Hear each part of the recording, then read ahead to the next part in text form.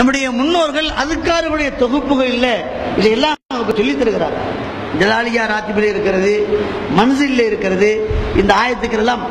அதாவது இந்த உலகத்தில் நபிமாவுடைய வாரிசுகளான வளமாக்கல் எப்படியாகிலும் இந்த உம்மத்திற்கு சில காரியங்களை அவுராதுகளை அதுக்காரர்களை சொல்லிக் கொடுத்து அவர்களுடைய இம்மை மறுமை தேவைகள் நிறுவுவதற்கான அற்புதமான வாய்ப்புகளை இலகுவான முறையில் அவர்கள் வாழ்க்கையில என்பதற்காக உண்டாக்கி தந்திருக்கிறார்.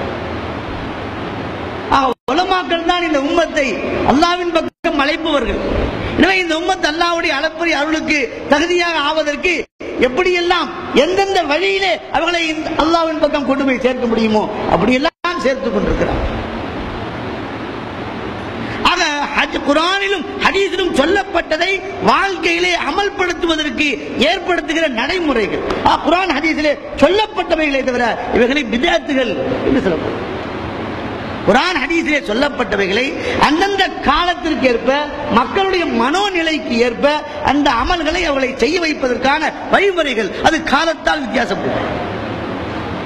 அந்த அடிப்படையில் இமாம் பகவீர் அஹமத்துல்லாஹி சொல்றாங்க எவர்கள் ஒவ்வொரு நாளும் ஒவ்வொரு துணைக்கு பொருளான துணைக்கு பிறகும் சூரத்துல் ஃபாத்திஹா ஆயத்துல் குருசி ஆல இம்ரானுடைய இரண்டு ஆயத்துக்களை ஓதுவார்களோ? அல்லாஹ் அவர்களுடைய இருப்பிடத்தை சுவர்க்கமாக ஆக்குவான். நம்பர் ஒன்னு.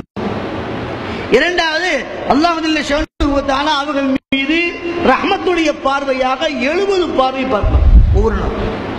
ஒவ்வொரு நாளும் எழுபது ரஹமத்துடைய பார்வையாக அவர்கள் மீது பார்ப்பான்.